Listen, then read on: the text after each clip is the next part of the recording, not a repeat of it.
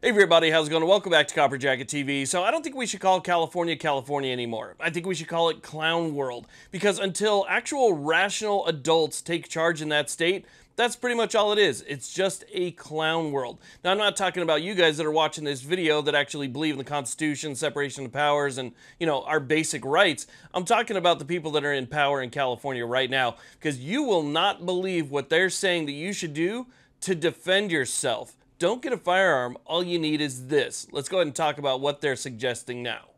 Now, real quick, I just want to thank you all very much for watching. If you're not subscribed yet, consider hitting that subscribe button. We have Second Amendment content on a daily basis, news and reviews, and I've got a lot of great stuff coming up. If you are not seeing my videos all the time, hit that little bell notification and leave a comment. Let me know what's going on. With that being said, let's go ahead and get to the video. Okay, so let's go ahead and talk about what's going on here. So, as I'm sure most of you know, crime in certain California cities has grown exponentially to the point where it's just not safe to live there anymore. People can't even leave their house. They go to work, they come back back, they stay in their home for the rest of their day. A lot of people are packing up and moving to other states, or they're moving to the suburbs, or they're moving further east in California, places where they feel a little bit more safe, because California will limit the way that you can protect yourself. So, in a lot of these big cities like San Francisco, Oakland, and Los Angeles, where you might feel the most at risk, that's where the strongest gun control is, stronger than any other gun control in the entire country. That's where you're going to find it. So people are pretty much disarmed. Now, while that might sound scary, there's really nothing to worry about because Oakland has a solution.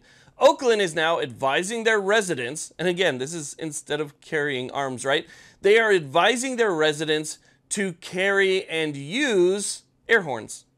Air horns. So instead of defending yourself with something that's actually effective, they would like you to get a can that has a horn on it so that you can alert other people that you are being assaulted. Hey, I have a guy here with a knife, or I have somebody here that looks to do me some type of bodily harm, I'm going to blow my horn to let other people know about it. Now, they're saying that you should do this so that other people who know about it can then call law enforcement or intervene in some way. But in reality, all you're doing is saying, over here, guess what's happening to me? That's pretty much it, and that is Oakland's solution to the crime problem. Now, while people like you and I might think that something like that is completely ridiculous, there's people who voted for the people that are in power there that actually think it's a pretty good idea. As a matter of fact, CNN gave an interview to somebody who said, you know what, as a matter of fact, I have three air horns stationed around my house three air horns. So it doesn't matter where somebody tries to come in. I've got an air horn pretty much covering all of my entrances. And so that's the idea that they decided to run with. So again, while you and I see that that's pretty much just a, a non-starter to begin with, there are people out there that think, hey, this isn't actually half bad idea. Now, if it sounds like I'm being cynical or sarcastic, it's because I absolutely am.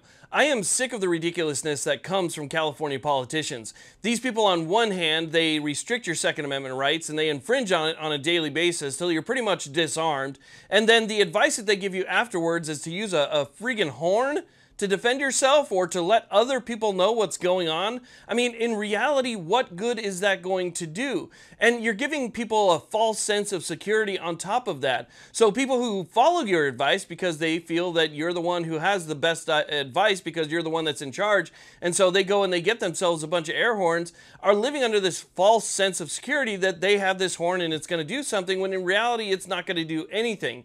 Now, the only thing that I heard from California politicians in, in Oakland is that they also say that you should put bars on your door on your door and windows.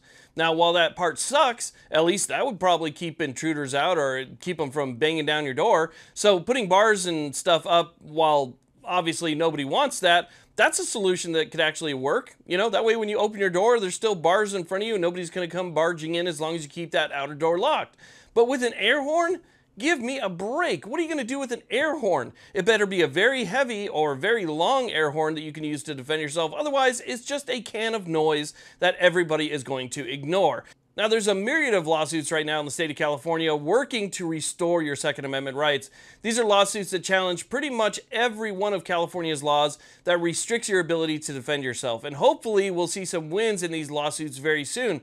But in the meantime, people shouldn't live under that false sense of hope that a can of air is somehow going to help you out. Yeah, it might alert other people, But those other people really have no obligation to help you, and it doesn't mean that they will. All you're doing is bringing attention to yourself, which in some ways is good under certain situations, but in most cases is just going to aggravate the opposite party, right? So Again, I, I, think that that is an absolutely terrible idea. Now, I just wanted to share that with you all real quick because honestly, when you read the headline, you're thinking to yourself, no way, this is actually real. And then you go ahead and you read the articles about it and you watch the interviews and you're, it is real. It is real. That's what they're telling you to do to defend yourself. I mean, people who are criminals, by definition, don't follow the, the law. And so to me, they're the only ones in California that have an advantage. And so the playing field in California is not level. And until you level the playing field, it's just going to continue to get worse. People are going to continue with their mass exodus. So uh, again, I wanted to share that with you. And you know, you guys can read their article and watch the uh,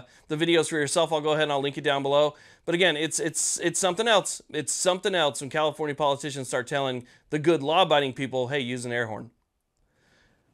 Unbelievable. Thank you all very much for watching. I really do appreciate it. Please like, subscribe. You guys have a great day.